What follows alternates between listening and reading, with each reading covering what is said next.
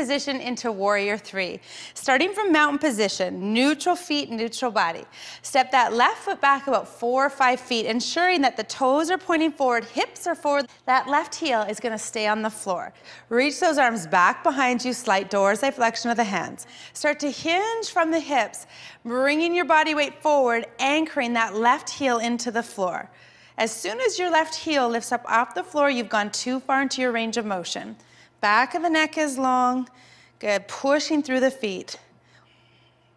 Transitioning into the warrior position from here. Start to bend into that front knee, picking the left leg up off the floor. As you do that, reach the arms forward, draw the shoulders down and back, dorsiflexion of the hands.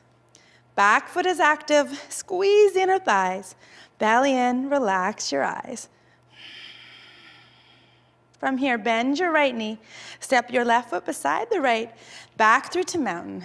Take a breath, big inhale, exhale, and make sure you do the other side.